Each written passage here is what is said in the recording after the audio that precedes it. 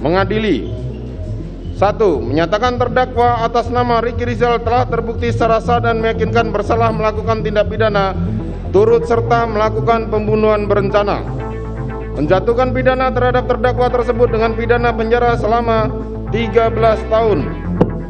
Setelah putusan, kan kita udah ucapkan oral kan, baik oleh uh, Ricky maupun kita, banding itu kan.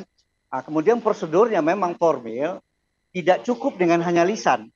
Jadi dia harus pakai uh, surat anu tertulis. Kan tidak Ricky sendiri yang wajib. Sebenarnya kalau memungkinkan zaman dahulu memang kita lisan telah dinyatakan oleh hakim biasanya biasanya biasa juga formil uh, hakim membuka peluang. Setelah dinyatakan dihukum biasanya hakim bertanya.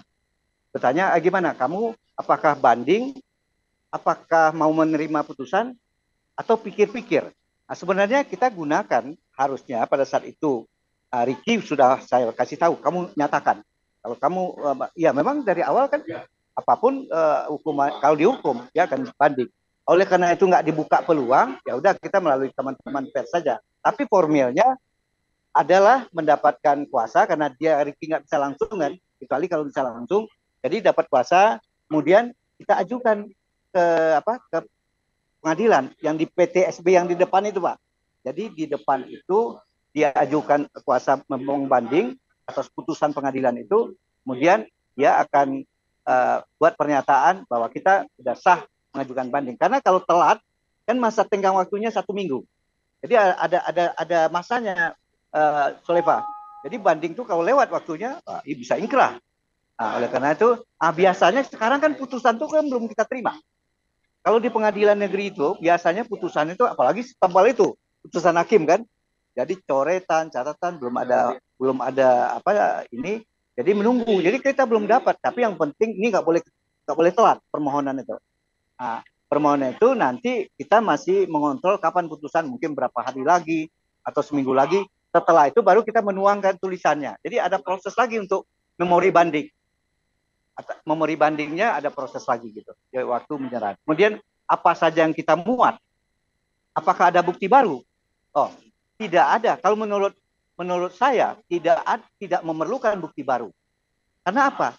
Fakta persidangan sangat banyak yang mendukung Ricky Rizal yang membuat dia tidak sama dengan putusan hakim.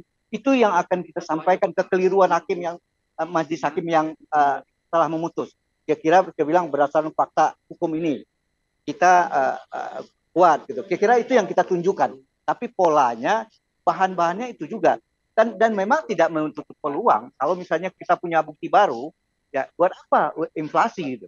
Ya kan? Buat apa? Jadi inflasi lebih bagus nanti kecuali pada saat PK peninjauan kembali atau kalau misalnya kalah juga kita itu kita bukti baru nanti aja gitu. Ya kan? Kalau sekarang kita udah merasa cukup kok. Ya kan? Kecuali kalau memang anu ya kita lihat nanti lah perkembangannya. Antara Ricky dan Ezer kan jauh banget komplainnya kan.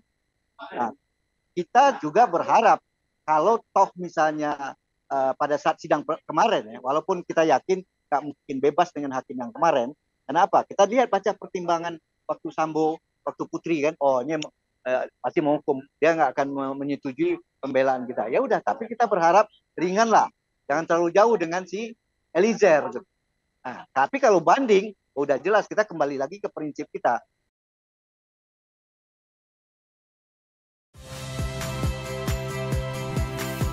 Saya Radi Saputro. Saksikan program-program Kompas TV melalui siaran digital, pay TV dan media streaming lainnya. Kompas TV, independen, terpercaya.